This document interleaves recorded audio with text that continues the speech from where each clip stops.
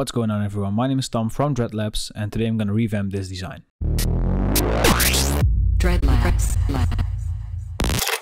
Alright, so uh, a member of our Discord, EzXF, uh, sent this design to me and this is part of a new series in which I'm gonna uh, get uh, designs from my Discord members and I'll try to improve them or remake them uh, to give you guys some tips and insights on what I should do in certain uh, situations in design, I guess.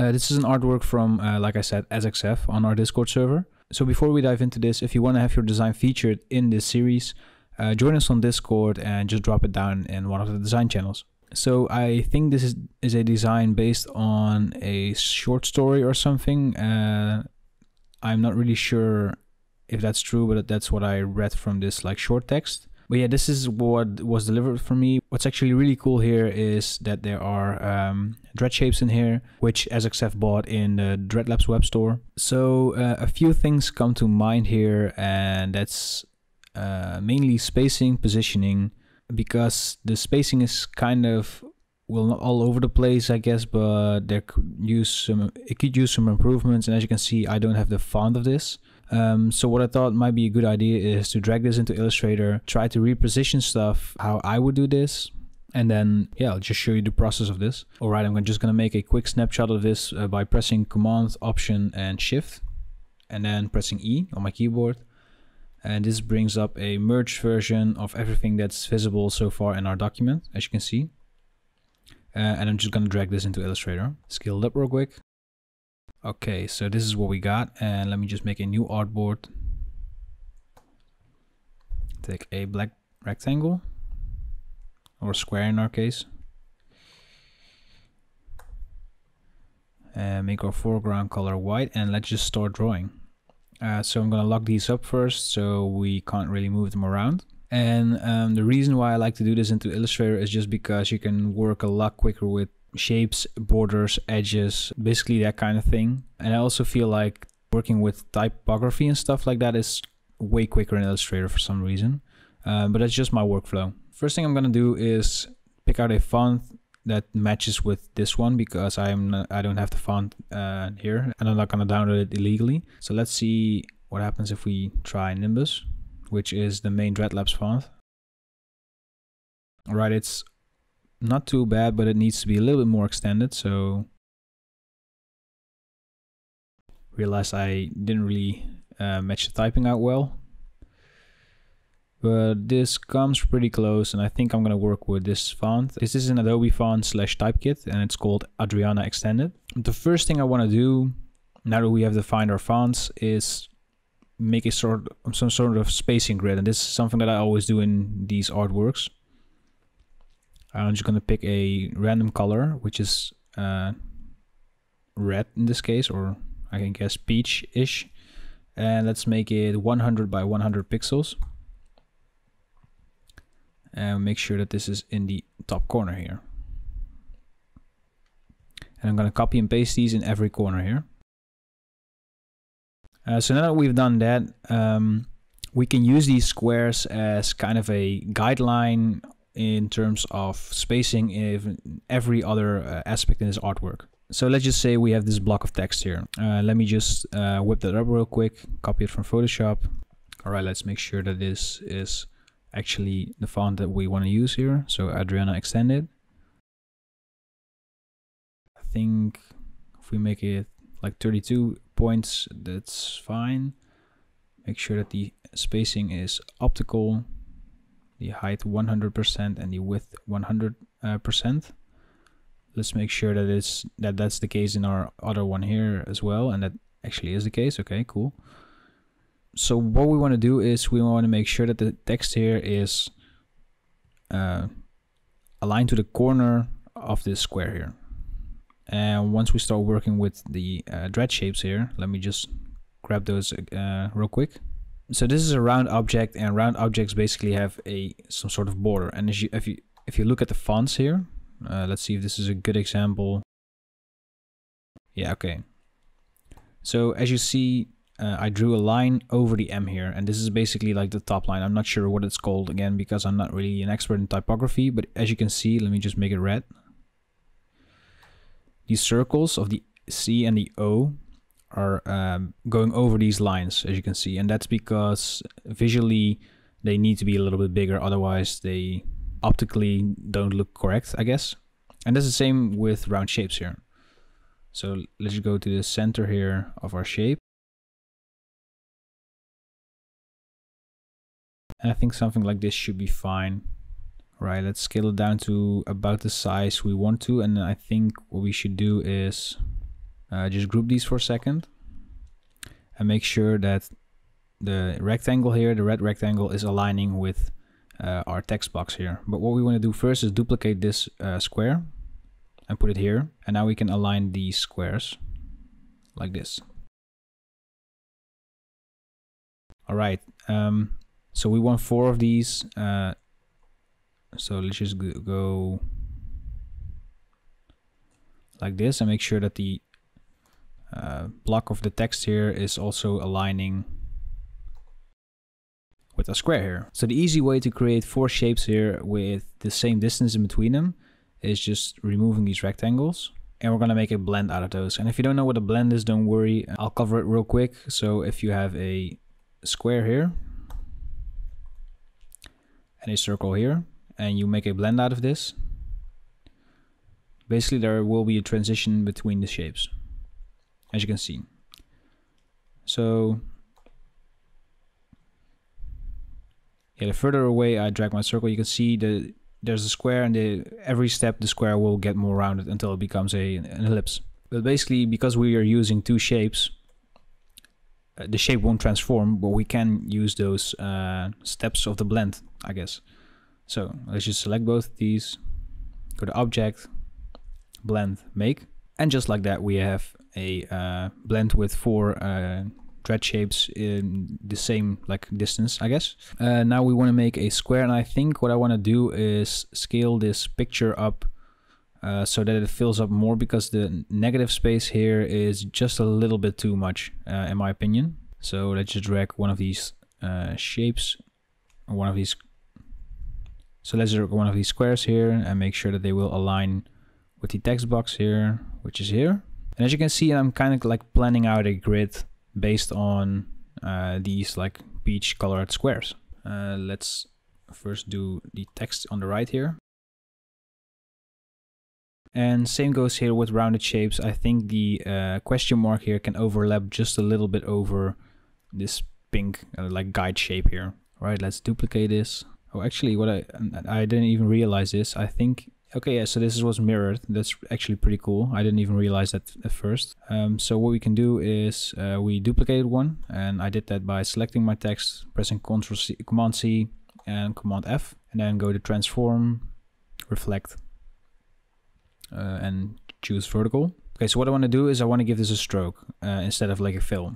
And just do that real quick by pressing Shift X. So what I don't really like about uh, stroke and text is if you click here, uh, the stroke will be aligned in the middle. As you can see, when the align stroke here, uh, you cannot choose the other options. And that's because it's still a text object. So what we can do is uh, right mouse click and click on create outlines. And now we should be able to uh, put it outside or inside.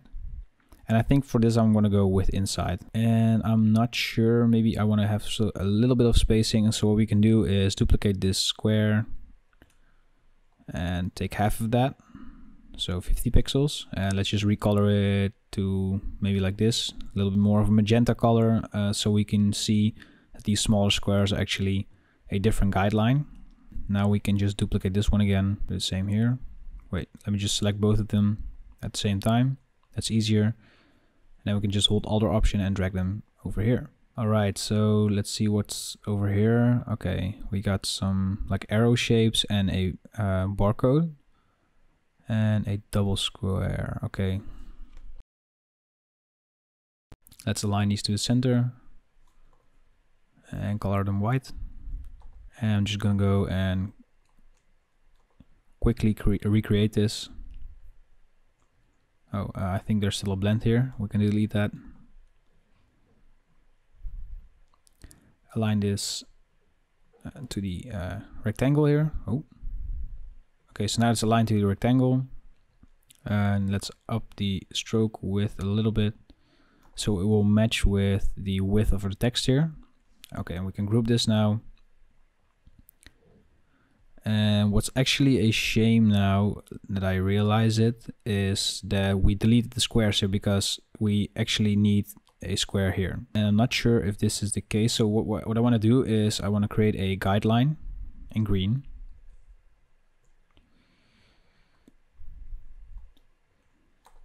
Okay, and this guideline needs to be at the 50% height of our uh, dread shapes. And now I can just easily select both of these squares. And now I can use the reflect tool. And by pressing here and clicking on the other anchor point by holding alt or option. So now we have two guide squares uh, that are basically uh, the same distance from the middle uh, of our dread shapes on the top and uh, at the bottom. Okay so let's dive into this group here and make a duplicate of the square here by going to object path offset path. Okay so now we're at the offset path menu and I want to make sure that the spacing between the uh, numbers and the first border is about the same as with the second like border. And I think something like this should be fine. Alright so uh, now that we have done that let's just do this one. And I'm not really sure how this is done but let me just do it the way that I think uh, I would go and approach this. So let's just go with a rectangle here uh, right click transform shear and let's shear it 20 degrees. Uh, command C command F to duplicate it. Drag it over to the side. Right mouse click transform reflect. Right neat little trick. Uh, let's fill these up and I want to make sure that this one's aligned to 50% uh, of the width of this one so let's just select this go to object path add anchor points and if we press our direct selection tool now, you can see that there's an anchor point here. All right, so now that there's an anchor point here, we can just use the pen tool, make a quick little line here.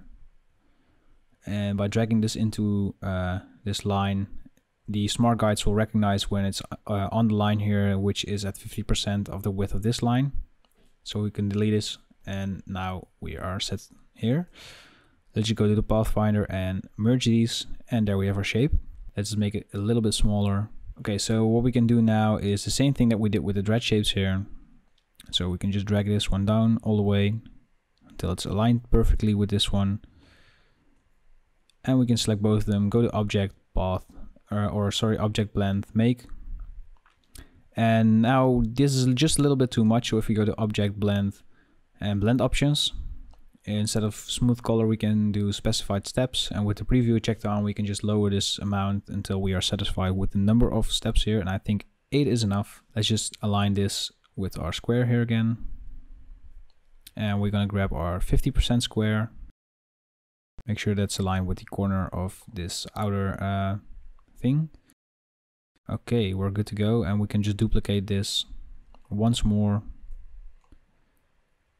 like so. Okay, and now we just do this one more time. And okay, so there are two images coming here with a text block here with I'm feeling lost and two circles. So what I don't really feel about this is that it's really empty. We're here with the negative space and I like to fill these parts in, even if it's with a subtle line.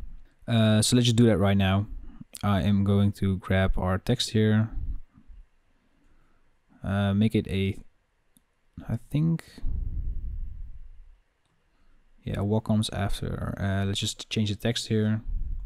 Okay I think the text should be a little bit like more extended. So uh, quick and easy way to do that. I know it's not like the proper case. I know I should probably search for another font which fits my requirements a bit better but we can lower the text here to I think yeah 70% is fine. I'm gonna just draw a line with my pen tool here. Hold shift to have it drag all the way down. And make the stroke like the same color as the guidelines here. Okay, um, now we can do the same thing with our uh, blend like we did here and here. Uh, but because these are only just three of them, uh, let's just go and hold Alt Option and drag this one down and do it once more by pressing Control or Command D on the keyboard. Okay, now we can just group this. Uh, let's see, there are, are these just circles? Okay, there's just circles. Um, so let's grab the ellipse tool and like I said earlier, if we use an ellipse like this, let's just make sure that it's the same uh, width in the stroke as this one. This can overlap just a little bit, so I'm going to just press 3 pixels up and 3 pixels uh, to the left. And make it a little bit smaller. Just like this. And were these like on the corners? Yeah, they were on the corners. Okay, so grab this and drag it uh, maybe like 50% to here. Okay, yeah, so there's like a half a circle in between here. And the way I did that so quickly is just holding Alt or Option, make sure that they intersect. And your smart guides will just tell once this edge is over here. When they just uh, let you know that it's intersecting again. All right. Um, now we can just group these. Put them over here, make them align with this line.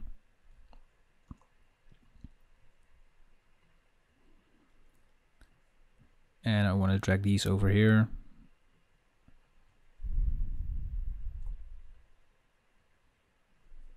One, two, three.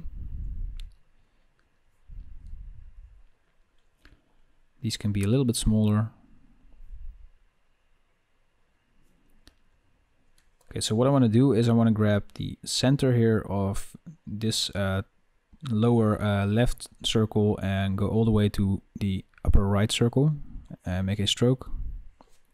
Again, make sure that's the same width again. Just select both of these and both of these. Press copy, Command F.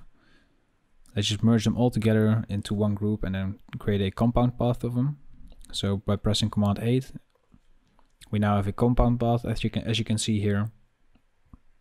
Let's go to object, path, offset path, and take 24 pixels because that's what we did here as well. And now we basically have a compound path of these and we can use that to cut out the rectangle like this. Okay, and now we can just align the text properly like this and I think we should just up these a few pixels. So one two three by holding shift so it's actually 30 and let's select all of this again but then with the text. One two three. Okay cool. So what I want to do is grab these like 50% squares again. And we can actually delete this line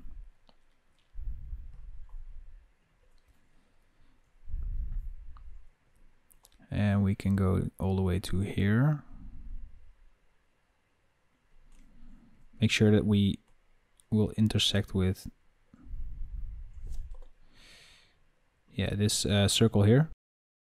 Like this and then we go one two three pixels in. And what we can do now is we can just get these squares here.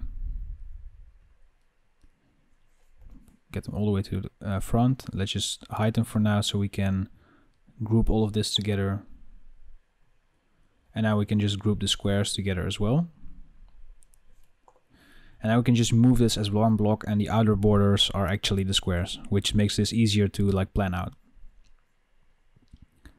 All right, so let's just see if we can get like, okay, this is about like the same size as the picture frame will be. Uh, okay, so now that I'm seeing it, I guess I have been a little bit generous with the width here, but that's, I think, alright because we want to make this a little bit bigger even. So yeah, let's just see how this goes. This is actually really cool. Okay, so what I want to do, I think, is get this picture uh, rotated 90 degrees so it will be like on its side, like this.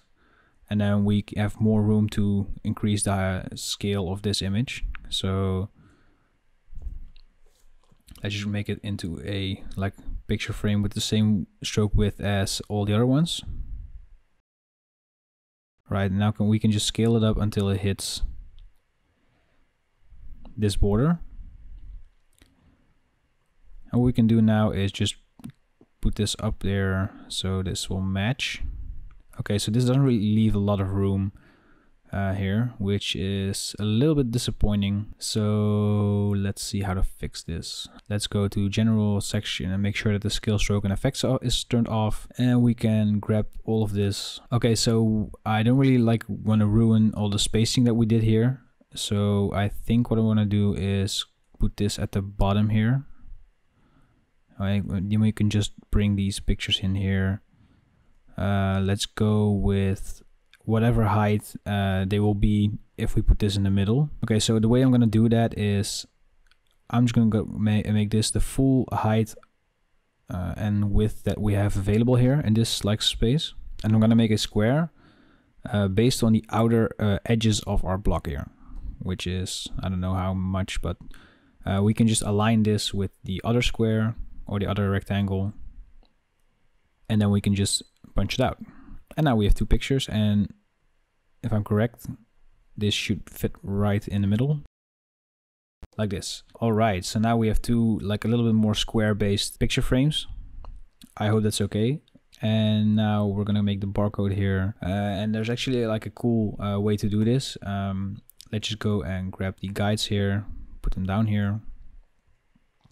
Um, so if you guys have noticed, these uh, strokes are going are aligned on the center and that doesn't align with this. So what I'm to do real quick is select both of these, click on the stroke and align it to the inside. And I want to do the same with all of these uh, like rectangles that are on the outer uh, edges. And I think these are the only two ones. So let's go again to stroke, align to the uh, inside. Okay, now that we have our guide set up again, let's go to type. And this is a free font, which is called Code 128 and if we just type Dreadlabs, uh, you don't see it because it's black now, but it just types in barcode.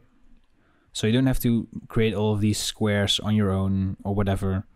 Um, so yeah, if you just go and create these into outlines, you can just align them however you fit you see fit. So I'm just gonna go and make these, I think, the same height as one of these blocks. So I'm just gonna go and duplicate these and now we can just resize them. All right. Okay, so here uh, is just one more line. Let's make this the same stroke height as like the usual in our project now. Do is this the same, like just duplicate it like this. We can just delete this one. Okay, now the circle uh, like animation, that's actually pretty well done. Let me just make a circle, give it the same stroke width again. Let's see what this looks like. I think this is aligned like well. Alright, so we can just group this. Let's just make it into the width first. Like maybe if we make it a little bit more wide than it is high, we can make it a little bit crazier, I guess. A little bit more unique.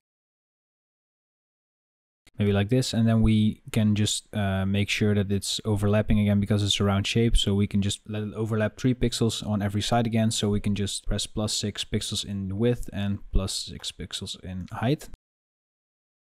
All right, so um, we're almost there, I think. Uh, just a few more things. I don't want to replicate this because that's something for another tutorial, but we can use this one, this here, this bar here, and then I think we can call it a day and go drag, drag this back into Photoshop. Okay, so this same thing here, this is just, uh, I think, a barbed wire. We can actually use it. I think I have an illustrated document with barbed wire as well, or I think these are thorns actually. Yeah, let me just grab the barbed wire uh, as a placeholder because it's quicker for me.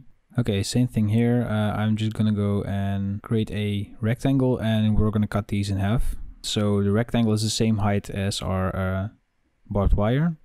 So what we can do is if we go to properties and make sure the anchor point is here at the top. So if we scale the height, uh, height uh, and uh, make it half, so we can just press slash 2. This will be divided by 2. And let's just make a copy of our uh, barbed wire and a copy of our rectangle. Okay, with the square selected, let's just make them green and orange or something so you can actually see what we're doing. Uh, and I have two barbed wires here by the way. Uh, so that's one and this is two. Let's click on the first barbed wire and the orange square and click on the intersect option here. Oh, uh, we need to make sure these are uh, compound paths first. So I'm going to select them, press Command 8. And if we intersect those, we are left with two different uh, shapes or two different like uh, barbed wire threads, I guess. And if we rotate this around, we can use this as our filler shape here. And let's just make a quick little square here. So with this square here, uh, I'm gonna do something similar. So I'm gonna align them to the left here and divide the width by two and duplicate it over here.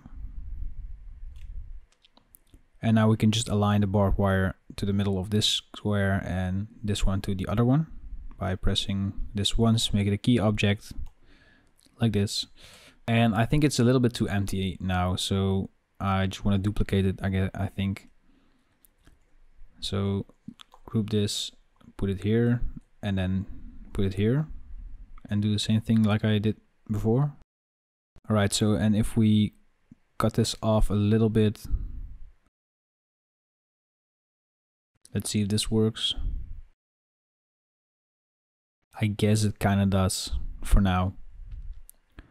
Uh, so then I'm going to show you how to create this and make this uh, align a little bit nicer.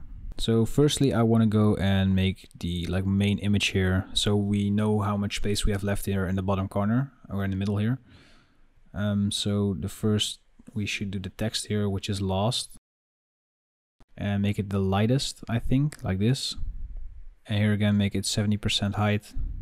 And let's just make this spacing a little bit higher so the letters will be separate. Uh, let's just make it outlines and group it. And here again, we can just create a square in the full width of this. Or we can just even duplicate this because I really like the, uh, to make it a little bit more consistent in terms of style. So if we just duplicate this whole uh, thing,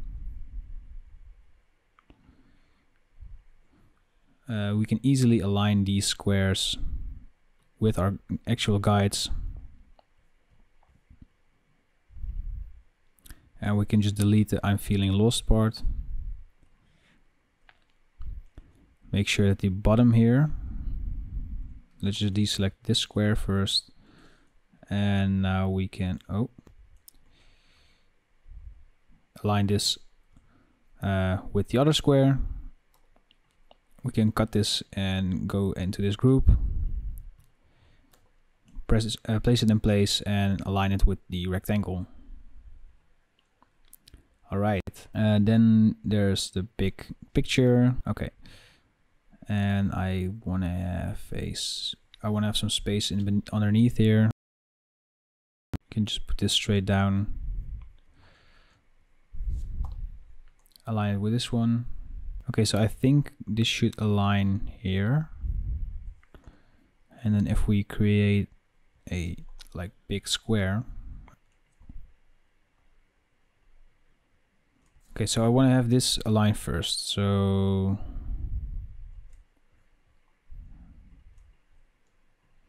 all right. And now we can just create a big square here or a big picture frame, I guess. Like this. And then I want to have a line going here. So this will be a little bit like higher up. So let me just like create a small, like, I guess sketch almost make sure that it's 50 pixels wide uh, because it's uh, like that's like the same width as this 50% square. Like this and duplicate it and put it on the side. Extend it all the way to here. Uh, and now we need to make sure that there's actually space between here as well.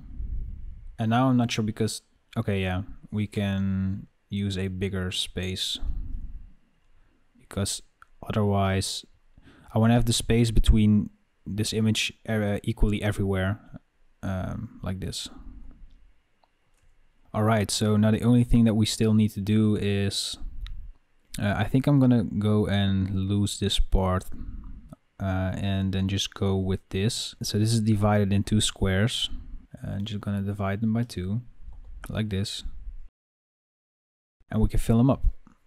So the first one is danger, like sheared rectangles. So what I'm just gonna do is make a rectangle, go to transform, shear, make it 20%, 20 degrees because that's, where did we do that again? I am not really sure anymore. Oh yeah, here. And we can just turn it on its side, align it to the top here, scale it so it fits the uh, thing in the middle here. Um, but what I do want to do first is I want to have a, a square here in the middle. And I want to have these scaled to the edges here. So there is still space between these two uh, like sections, I guess. So, okay, now this is properly aligned. Let's just duplicate it and put it all the way to the bottom. And now we can just make a blend out of this again. So we go to object, blend, make. And I think I want to increase it a little bit or maybe like yeah okay so what I want to do is I want to grab these.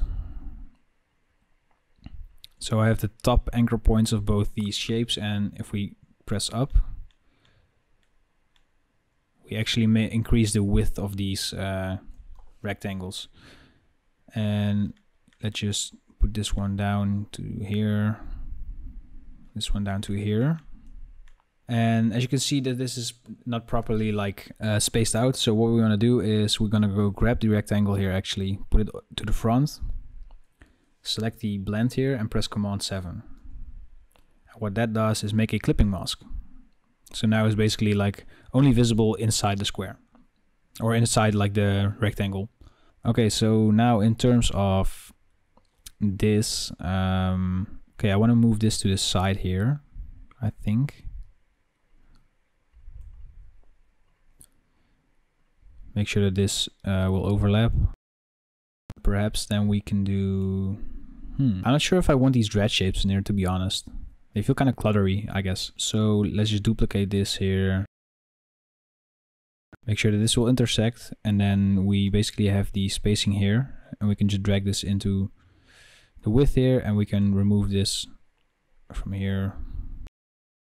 And I think I want to have these like this. And I want to merge these together still.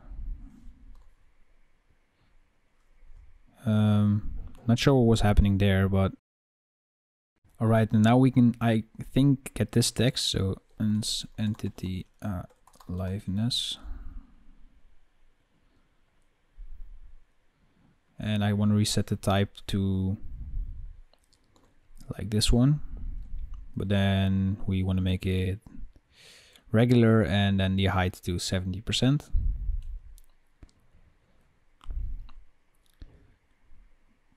And if we scale this all the way down, make sure that it aligns. Uh, let's just create a rectangle here. That's like from this anchor point to this anchor point and let's make sure that this is actually properly like aligned like so and align this text inside of here and enter one, two, three, four, five spaces, one, two, three, four, five spaces. Uh, make sure that we actually make the text centered here and now we can align it like this. And we can delete this rectangle and now we can increase the spaces. So 1, 2, 3, 4, 5, 6, 7, 8, 9, 10. 1, 2, 3, 4, 5, 6, 7, 8, 9, 10. Uh, so yeah, we should be good with this. All right, uh, I think I'm satisfied. I'm like one hour in right now. All right, so now I want to remove the guidelines. So let's just grab one of these like peach squares uh, and then we'll go to select same fill color. And this will basically select all of the uh, peach like squares. So let's just press Command X and then Command F and we can just group these and hide them. And we're going to do the same for the other uh, ones here.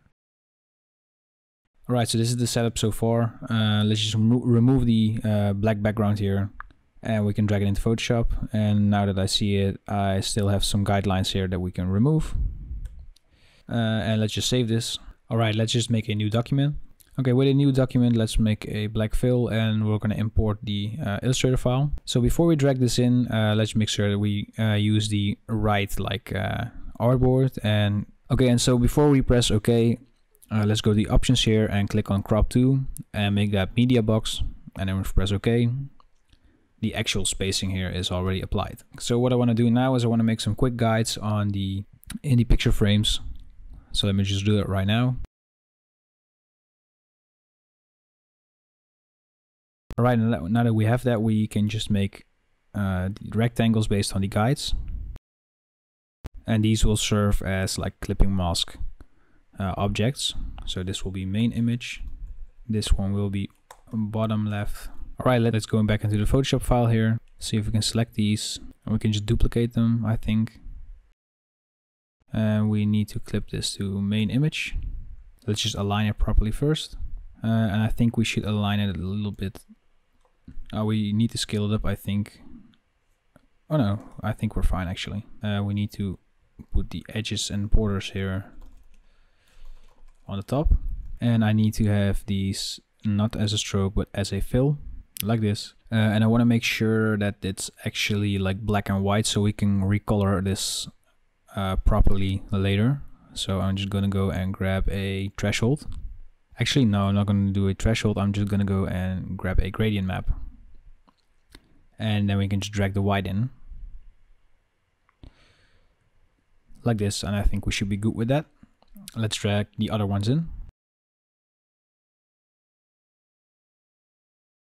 Alright, so uh, I dragged all of the images in and this is a really important reminder. I'm not sure if, SF if SFX uh, has done this or not, but make sure if you use images like this in your panel designs or whatever that you are using images that you are allowed to use. So ask the uh, creator of the image I, because I think this is from Malavida on Instagram and you just simply cannot use this in your own design without any consequences if this is for a commercial purpose. Uh, and in this video, I'm just doing it to like uh, just for fun. Uh, but yeah, if you know the original uh, authors of the images, please uh, credit them where it's due. Uh, and don't use images that you're not allowed to use in your commercial work. That being said, let's go with another gradient map. Dragging the white again to increase the contrast uh, maybe even the black. All right. Um, so now I think we're just gonna grab the color purple from here. And we can actually change the white here to the same pur purple. So let's see what code that is. Copy the hex and paste it in. And actually inverting this is actually cooler in my opinion. Let's see what it looks like without the guides. All right, this should be fine. Um, okay, in terms of where we're at right now is I think we're we can actually start texturing this. So let's just group this and call it content. And I think I want to go and add a subtle glow to this. So let's just duplicate the edges and borders, call it glow and we'll blur this with a Gaussian blur of maybe three pixels five six six is actually fine and what I like to do when I glow my objects is add a quick little noise layer. Um, so if you want to learn how to do these quick noise layers, there's a tutorial for this on my channel, which is called uh, Photoshop Actions, and it will teach you a lot more about them and how to use them. But now there's a grainy overlay. Um, and actually what I want to do is I want to go and create another noise layer here. So for the sake of the video, let's just show you how I use this action. So I'm going to go and shift backspace, which will bring up the fill menu, click 50% gray, go to filter, noise, add noise, and let's grab 20%, uh, maybe now like 10. And let's go and put it over the content so we can actually see if we can do something with the blend mode in places where it's uh, purple and then duplicate it again to see if we can do something in the places where it's dark. Maybe if we use a pin light. Okay, so now that it's super grainy, um, uh, so now that it's super grainy, I just want to texturize this uh, a little bit more and then color correct it where it's due. So let me just grab a texture from my resource packages that I have here on my uh, computer. Grab a grunge texture from Black Market. Use a gradient map to make it black and white. All right, and if we put this to screen, you'll see that some of the like grunge effects are coming through. Um, so the last thing that I want to do is grab the whole uh, image here uh, without the grunge texture. So uh, I'm just gonna group this artwork, make it into a smart object, and add some displacement. So we'll go to filter, distort, displace, grab a 20 by 20, and then I'm gonna grab one of the grunge maps from Black Market again. Uh, you can get these from Trash Machine. And move it back a little bit. All right, and I think we're done. Uh, now that I look at it, there's something something went wrong here with the spacing. Um, but yeah, that's all good. Uh, this was more uh, to give you a feeling of my work process and how I would go about redesigning uh, your artworks. Um, so yeah, thank you SFX for uh, sending this in and remind to use only the images uh, that you're allowed to use. So don't use copyrighted stuff or other people's stuff in your uh, designs. Um, unless you paid for it or the author knows about it, of course. So I want to take the time in this video to thank my patrons. Uh, so if you don't know, if you become a patron, you'll get a 15% uh, discount in the Dreadlabs web store, as well as access to all of the project files from all of my videos, uh, including this one. On top of that, you'll also get a cool Discord role for, for our server. Uh, so yeah, if you want to have your design featured in this video series, uh, join us on Discord and send it over to me. So if you have any questions, please leave them down in the comments. Thank you for watching, and I'll see you guys in the next video. Bye.